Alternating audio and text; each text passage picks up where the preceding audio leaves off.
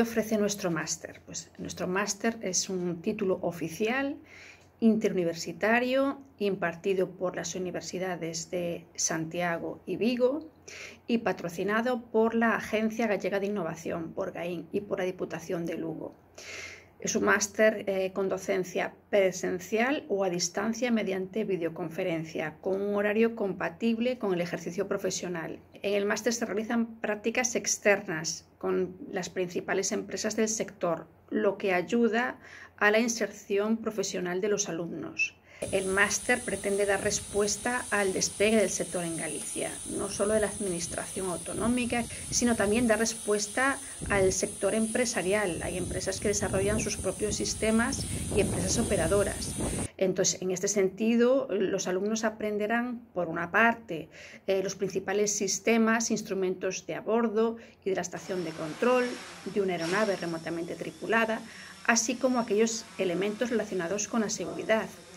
y por otra parte, eh, aprenderá los principios geomáticos, fotogramétricos y cartográficos relacionadas con las operaciones de RPAS.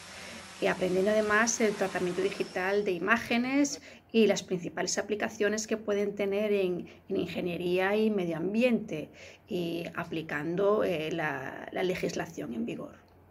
Hasta ahora hemos trabajado bajo dos eh, legislaciones del 2014-2017 de ámbito nacional. Actualmente todavía estamos con la legislación del 2017 de ámbito nacional AESA eh, en vigencia, pero a partir del 1 de julio del 2020 entrará la nueva legislación europea, que convivirá con la legislación nacional hasta el 1 de julio del 2021 y a partir de ese momento pues será la la legislación europea, legislación EASA, la que eh, estará en vigor. Eh, el nuevo marco normativo pues, eh, va a permitir operaciones en tres categorías, abierta, específica y certificada, y mi punto de vista es que va a abrir, va a permitir nuevas operaciones que van a poder pues, favorecer que el sector se siga desarrollando, pero siempre dentro de un marco de seguridad. ¿Cómo de importante es la formación de piloto?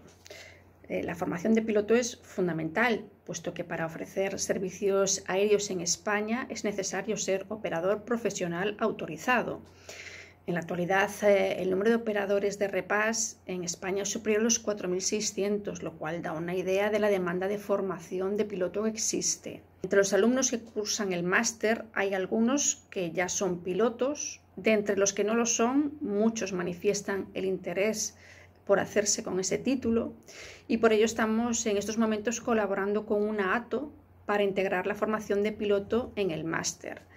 para que los alumnos que les interese se puedan examinar directamente de la parte teórica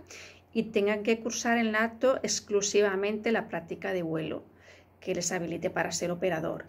y con un coste reducido para nuestros alumnos. Galicia es una comunidad autónoma eh, que en los últimos cinco años aproximadamente ha realizado esfuerzos importantes para el desarrollo del sector de los sistemas aéreos no tripulados. Esos esfuerzos van desde esfuerzos en el ámbito formativo, por ejemplo, con la creación de una escuela de ingeniería aeroespacial, grado de ingeniería aeroespacial, un máster en sistemas aéreos no tripulados, hasta eh, esfuerzos eh, en el ámbito del desarrollo conjuntamente con el Instituto Nacional de Técnica Aeroespacial de un aeródromo de ensayos para sistemas aéreos no tripulados en Rozas, en, la provincia de Lugo,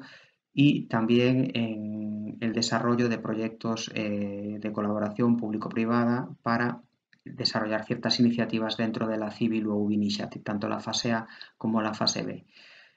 Bajo mi punto de vista, eh, el Congreso UMBEX pues, es un, paso más en el desarrollo de esta estrategia eh, en Galicia y que puede servir como un escaparate para mostrar todos los desarrollos que se están eh, realizando en la comunidad, hacer networking, generar oportunidades de negocio y, en definitiva, pues seguir desarrollando el sector en la comunidad.